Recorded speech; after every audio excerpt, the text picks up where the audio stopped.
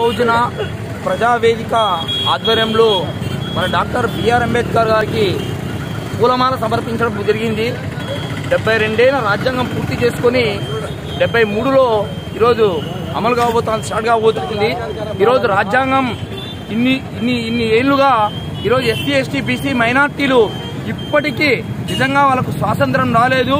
స్వాతంత్రం వచ్చినంటే ఈరోజు జనాభా తమాషా ప్రకారం ఈరోజు మా ఓట్లన్నీ మా సీట్లన్నో ఒకసారి ఇప్పుడు ఏవైతే ఈ ఎస్సీ ఎస్టీ బీసీ మైనార్టీలు ఈ ఆధిపత్య కులాలకు అగ్రస్థాయిలో పెట్టి ఓట్లేసి గెలిపించి ఈరోజు పూర్తిగా మనం ఓట్లేసిన వాళ్ళే మనల్ని తొక్కబడతా ఉన్నారు. ఇప్పటికీ ఇంత టెక్నాలజీ ఇంత అభివృద్ధి ఉన్నా కూడా ఈరోజు ఇంకా మనము తెలుసుకోలేని పరిస్థితుల్లో ఉన్నాము. ఓటు వచ్చే వరకే ఓటు వచ్చే వరకు ఎలక్షన్స్ వచ్చే వరకే మనం మాయమాటలు చెప్పినటువంటి ఈ పార్టీలకు ఇప్పటికీ ఇన్నేళ్ళైనా డాక్టర్ బిఆర్ అంబేద్కర్ మనకు ఓట్లు ఇచ్చింది. వాళ్ళకు ఓట్లేసి గెలిపించి రాజ్యాధికారాన్ని ఆధిపత్య కులాల చేతుల్లో పెట్టమని కాదు ఇప్పటికైనా తెలుసుకోండి. ఇది రాజరిక పరిపాలన నుంచి మనం దాని నుంచి మనం పూర్తిగా వాళ్ళ విధి విధి విధానాలకు మనం వ్యతిరేకంగా మనం రాజ్యాధికారం మనం సాధించుకోలే ఆ- ప్రయత్నంలోనే ఈ ఓటు హక్కును మన చేతిలో పెట్టినాడు డాక్టర్ బిఆర్ అంబేద్కర్. ఇప్పుడు చూస్తున్నాం డెబ్బై రెండు సంవత్సరాల నుంచి మనం ఓట్లేసి ఏ రకంగా నష్టపోతున్నాము మన పిల్లలు ఏ రకంగా నష్టపోతున్నారు మన ఆడబిడ్డలు జరుగుతున్న దాడుల్లో ఏ రకంగా ఈ ఆధిపత్య కులాలు ఇప్పటికీ స్పందిస్తానాయో ఒకసారి ఆలోచించుకోవాల్సిన విషయం ఎంతైనా ఉంది.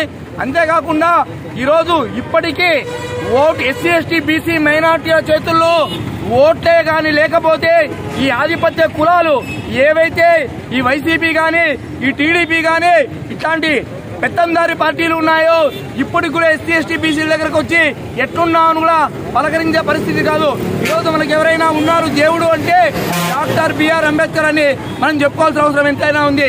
మనం ఆయన కల కలిగిన కళలు ఓట్లు ఓటు అనే వజ్రాయుధం లాంటి ఓట్లు మీ చేతుల్లో ఉన్నాయి.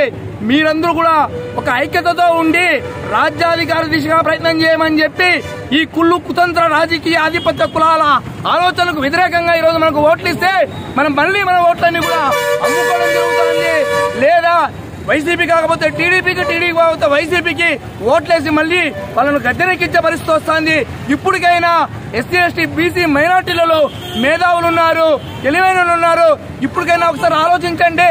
మనం ఎంతసేపు మనం ఎంతసేపు పథకాల వైపే ఆలోచిస్తాం ఈరోజు పథకాలు విచ్చలవిడిగా పథకాలు పెడతాన్నారంటే పథకాలు ఇస్తే ఎస్సీ ఎస్టీ బీసీ మైనార్టీలు ఓట్లు ఇస్తారని ఒక మైండ్ గేమ్